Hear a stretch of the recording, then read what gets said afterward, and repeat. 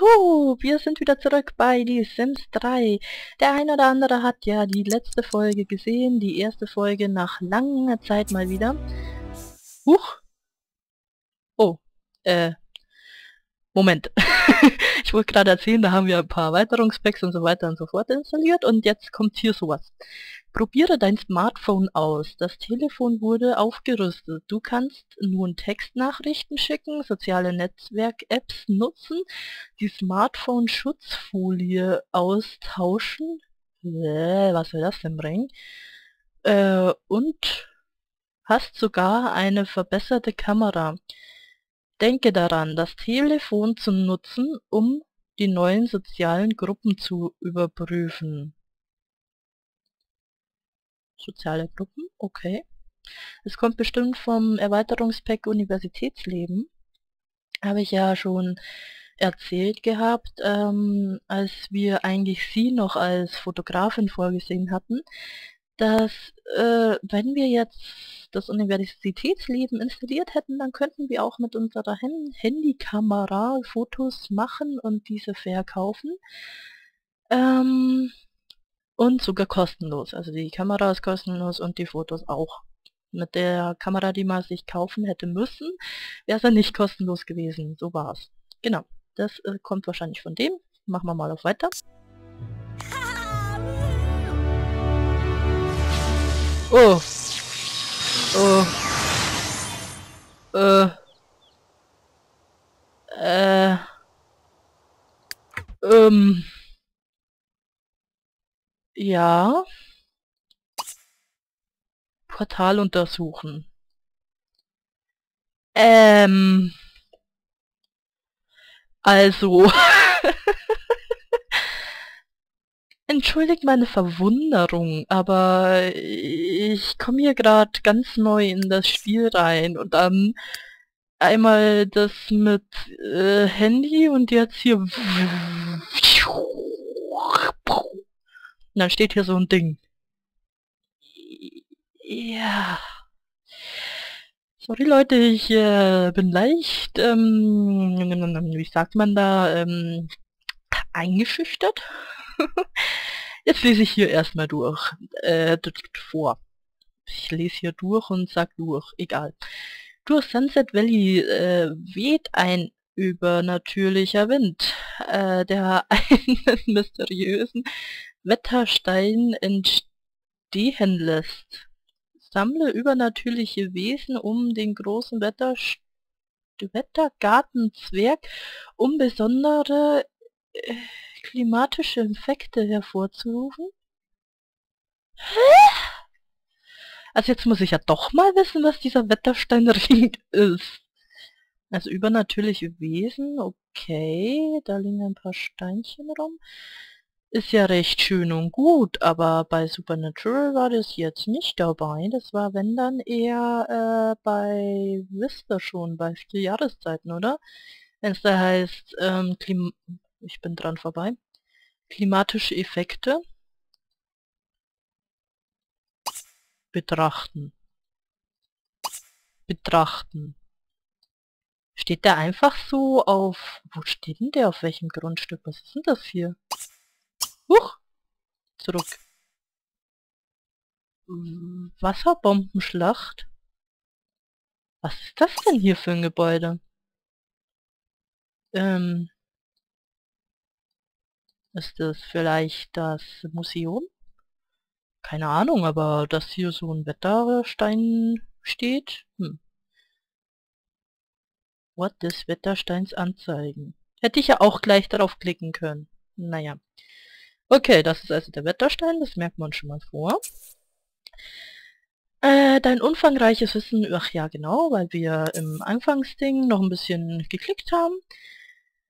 In der Spielwelt ist ein geheimnisvolles Portal erschienen. Welche Auswirkungen mag das auf die Welt haben? Ja, ich habe ein bisschen Angst, da durchzutreten. Mond hat eine Einladung auf Partyjagen. Ich mag jetzt keine Partys. Ich mag jetzt erstmal die Welt erkunden. Und zwar, ähm, war es ja jetzt so, da ist noch Essen, Essen, Essen. Dieses Essen tun wir mal hier rein. Äh, dann kann die Mondblume mal kurz duschen und dann machen wir uns auf den Weg, äh, die Stadt zu erkunden, die neue. Ich bin echt schon gespannt. Okay, den Garten können wir noch schnell pflegen, sonst verdirbt uns das Zeug da dran. Es wäre ein bisschen ungeil.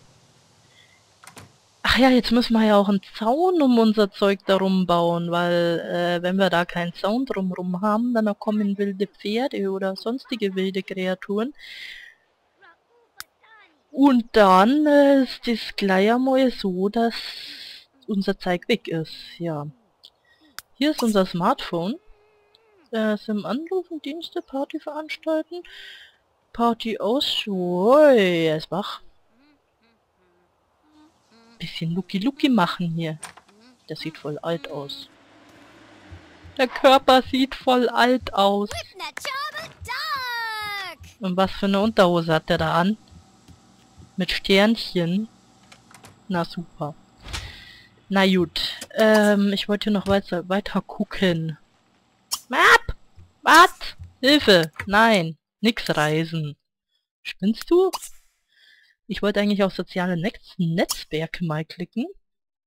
Im Internet surfen, Videos streamen, Nachrichten, freundliche, per Textnachricht Schluss machen, nee, auf gar keinen Fall. Textnachricht schicken, um heimliche Bewunderung auszudrücken, Bildnachricht schicken, Be äh, Beleidigung, ist eigentlich geil, oder? Im Internet surfen? Ach so, da kann man nur im Internet surfen. Ist irgendwie schon cool. Telefoneinstellungen an Universität einschreiben. Wäre eigentlich auch eine coole Idee, aber dann, wir haben ja jetzt gerade erst äh, uns hier so einen Typen geangelt. Das ist dann blöd, wenn wir dann auf eine Universität gehen. Das können wir ja dann vielleicht mal mit unseren Kindern machen. Kameraeinstellungen. Ja, cool eigentlich. Okay, haben wir schon mal das Handy begutachtet? Ähm, sobald sie hier abgeerntet hat, was will sie denn da machen? Straßenkunst lernen. Äh, gibt's neue Fähigkeiten oder wie? Fähigkeit Straßenkunst lernen? Wie, wie, wie geht denn das? Nein, nicht automatisch.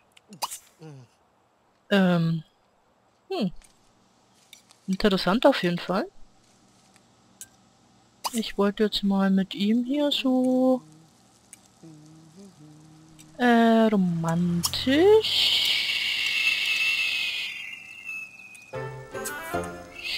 Küssen. Kann man den eigentlich nicht bitten, bei uns einzuziehen? Äh, ein bisschen kennenlernen. Äh, wat? Was? Warum kommt hier so Musik? Hä? Was? Äh. Hä?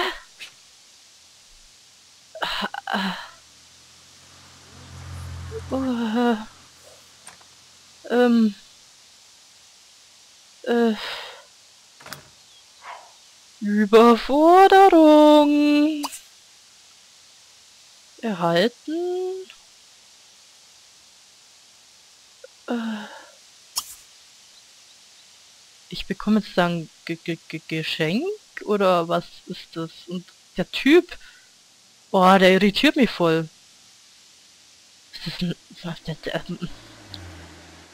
boah, ich, ich kann euch nur sagen, wie verwirrt ich gerade bin. Also, was anderes kann ich euch im Moment nicht sagen. Ich hätte mir vielleicht die ganzen Erweiterungspacks mal genauer durchlesen sollen. Hallo, hier kommt das fröhliche Universitätsmaskottchen, um ein bisschen äh, Schulgeist zu verbreiten. Außerdem habe ich hier das Universitätswillkommen-Set im nützlichen, äh, mit nützlichen Informationen und netten Giveaway für dich. Äh, ah, okay, gut, danke. Sehr nett von dir, glaube ich.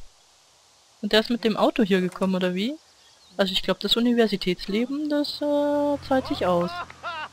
Einen Friedhof bei Vollmond besuchen, ja, kann man mal machen. ja, ich weiß jetzt gar nicht so recht, was ich eigentlich sagen soll. Ich verkaufe mal hier kurz ein paar Sachen und schau mal denen nicht beim Knutschen zu. So, rumgeknutscht. Jetzt können wir Geschenk annehmen. Wie lange würde der denn da eigentlich rumstehen, wenn wir da nichts machen? Würde mich schon interessieren, aber jetzt nehmen wir es mal an. Wahrscheinlich haut er dann ab. Ist ja meistens so. Ja, der haut sogar nicht nur ab, der verschwindet sogar einfach nur.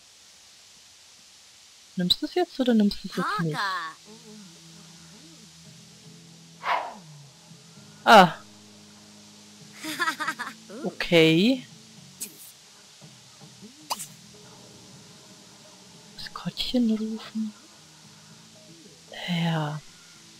Moment. Was will sie? Verliebt umarmen. Ja, das kann sie mal machen in der Zeit. Moorblume hat ein paar starke neue Sachen. Sie hat einen Universitätsbanner und ein cooles neues T-Shirt bekommen. Mhm. Ich würde mal sagen, das Ding stellen wir uns mal hier rein. So. Kann ja nicht schaden. Gut, jetzt haben wir den verliebt umarmt und gehen mal gleich an unser Handy ran. Vielleicht gibt's ja was Neues. Haha, ich bin müde. Was? Ja, die Party. Ich mag nicht auf die Party gehen. Mag ich nicht.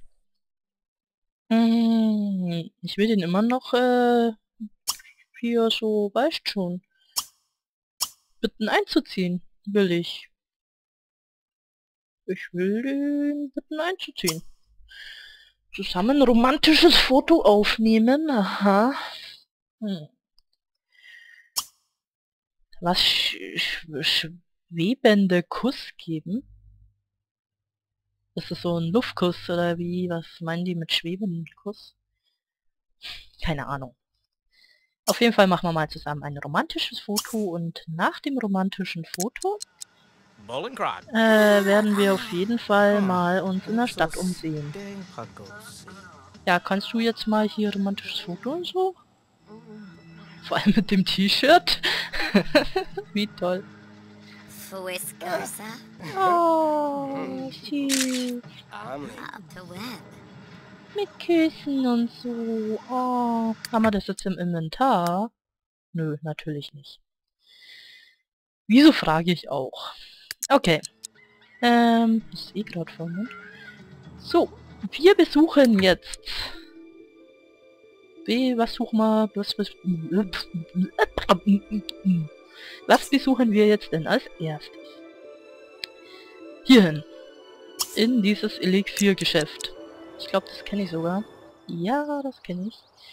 Das hat hier hinten so einen tollen Garten. Wo man manchmal sogar was klauen kann, wie hier ist zum Beispiel Honig. Okay, Honig kann man nicht ernten. Ist wohl noch nicht reif. Ich muss gehen. Tschüss. Ja, schade, aber schön, dass du da warst. Nett von dir, auf jeden Fall. Und da sind wir drinnen. Der unheilverkündete Mo Vollmond beginnt seine geheimnisvollen Aufstieg in dem Nachthimmel. Ja, toll. Äh, Und das hier ist jetzt auf jeden Fall ein äh, Elixierladen. Und da können wir mal sagen, Objekte kaufen. Mal gucken, was der so hat. Einfach mal schauen. Wir müssen, wir müssen ja nichts kaufen. Ich will einfach nur gucken. Lorsham, Wamita. Mhm. Ja? Ah, jetzt hat. Okay, das sind, also die meisten Sachen hier sind halt vor allem für Hexen nützlich, das weiß ich noch. Ähm, und zwar können ja Hexen Elixiere brauen und äh, sowas. Lauter so Zeug. Und dementsprechend können sie halt hier unbekannte Samen und so kaufen und die dann bei sich daheim einpflanzen. Oder auch hier so Auraul, au, au, Alraunen Wurzeln oder den Baldrian. Alles das können sie sich einpflanzen. Das kann natürlich auch ein Normalsterblicher, also sowas wie wir. Ähm, aber für Hexen ist es halt besonders nützlich. Wir kaufen jetzt hier nichts. Ähm, außerdem gibt es hier noch irgendwo eine Steinbresse, soweit ich das weiß. Ach ja, hier ein Alchemie-Labor. Da war gerade ein unheimliches Bild, was sich, glaube ich, ab und zu verwandelt. Und das ist die Edelstein-Schleifmaschine. Genau. Die, da kann man halt sowas wie Diamanten reinschmeißen und dann kriegt man irgendeinen Staub raus, soweit ich das richtig in Erinnerung habe. Ja, genau. Oh, da ist ja auch ein schicker junger Mann. Der gefällt mir sogar fast noch besser als der andere. Connor. Hm. Könnte man uns ja überlegen. Ihr könnt es ja mal in die Kommentare schreiben, ob wir nicht doch den hier irgendwie wollen oder doch den anderen. Wie gesagt, schreibt es mal rein. Ähm, ich kann ja dann darauf eingehen. Jo, zwar nicht in den nächsten vier Folgen, weil in den nächsten vier Folgen ist... Nehme ich hier gerade noch auf. Nein, nicht vier, sondern eher zwei, aber... Huch, äh, blöb. Jetzt mach doch mal hier drauf. Ja, nee, den jetzt nicht unbedingt. Der ist zu Bubi-mäßig, aber der hier sieht doch schon schick aus. Also, hm, den würde ich auch nicht von der Beckkante stoßen. Und da passt ja eigentlich auch ganz gut sonst eine Mondblume. Also wie gesagt, ihr könnt es ja mal in die Kommentare schreiben. Ich würde mich freuen, wenn da irgendwas Schönes drin steht. Und dementsprechend würde ich jetzt einfach mal sagen, bis zur nächsten Folge und mal gucken, was ihr euch äh, ausdenkt und wie ihr euch entscheidet. Jojo, bis dahin. Ciao, ciao.